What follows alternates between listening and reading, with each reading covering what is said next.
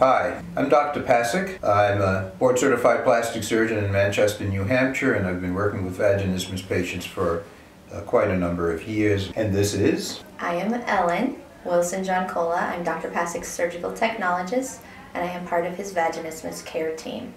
We are going to be speaking about vaginismus and dilators. I think in any conversation with dilators, we need to speak about the Lamont classification first. And the Lamont classification, in my opinion, is very, very important in terms of stratifying uh, patients according to the severity of their vaginismus. Basically, Lamont back in 1978 described a classification system where a level 1 vaginismus patient was someone who had increased tone in the vaginal muscles uh, but was able to relax for an examination. A level 2, they have the increased tone but they're not able to relax. In a level 3, oftentimes the buttocks lift off the table. Level 4, they're already in retreat. My patients have recommended that we include a level 5 vaginismus. There's this visceral reaction of hyperventilation and nausea and potentially vomiting and wanting to run away and wanting to jump off the table and even possibly attacking the doctor. The level ones and the level twos who are less severe will more likely be able to work with dilators. Once we get to our level threes, fours, and fives, Ellen and I find that these women can struggle for long periods of time where they don't even open the box of dilators. If they do open the box of dilators, they start with a small dilator and they may spend a year or two advancing to a larger dilator. I don't think this is good medicine. I think this is just taking much too long in order to get the patient to where they need to it's go. It's very traumatic emotionally for them to struggle with the dilators at that level 4 or 5 area too.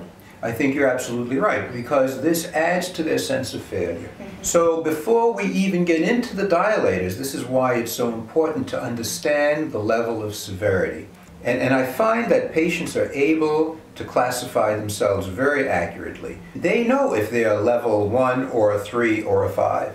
And when we go to treat them under anesthesia with the Botox treatments that we use for the vaginismus, it plays out right on the operating table where as we're putting them to sleep, we get the same kind of reaction. Except this time, we're in a controlled environment, patient is getting medication, and the patient doesn't have to feel, oh my God, they have failed another GYN examination. We put the patient to sleep, we examine them, we uh, inject intravaginal Botox in order to paralyze the muscles, and then we do progressive dilation. And the progressive dilation, almost all of the patients tolerate a dilation right up to the largest dilator, and that takes us approximately 30 seconds to do. That's how With quickly minimal resistance. That's how quickly the vagina dilates up. So they go to recovery, and we usually leave them alone for about an hour, and during that period of time, the vagina is dilating up. And then the next thing is without pain, which is no key. pain. And the next thing, which is the most monumental part of their treatment, is when they realize they have that large dilator in place. So they wake up and they have the large dilator in place, and most of the patients can't believe that it's actually in place and doesn't hurt. That's the biggest thing. It feels a little weird because they're not used to something being there, but it's all just so exciting. And then they take the dilator out. Yes. they take that large dilator out and they look at it and they say, That was in me? That's yes, unbelievable. They do. They do and then, that. believe it or not, they take it and they put it right back in. And their face looks a lot like his just now. Yes, they do. So you work between those few dilators, and they can put the big one in and out that first day quite comfortably. Like I said, a little awkward, but not painful. That's the key because the local anesthetic's on board, the muscles are being stretched, so it makes it very, very easy. And that's really monumental for the women because they realize how significant of a size is in place and that they can move it around without having any pain or discomfort. You are supervised the whole time. The recovery room nurse is right by your side. She helps you work with the dilator. She shows your partner how to encourage you with the dilator. And it's really empowering that you have this in place. It's not painful, I can't stress that enough, and that you can actually do this. And that's quite comfortable.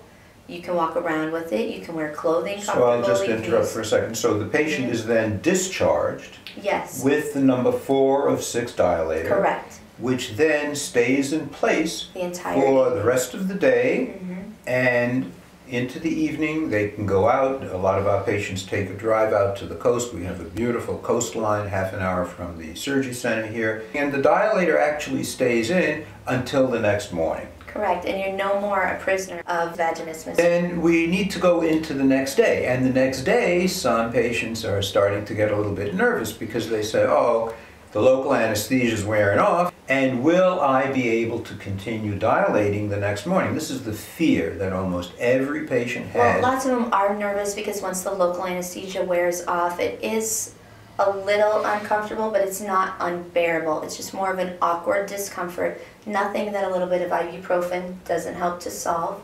They come in the second day, and that's really kind of dilator boot camp and empowerment day. So it depends on how they did and what the comfort level was over the evening. We also call her Sergeant Ellen. But I'm a nice sergeant. and it's a great result in the end. There is so much confidence building during the two days that they're dilating that our patients really do not have a problem once they go home.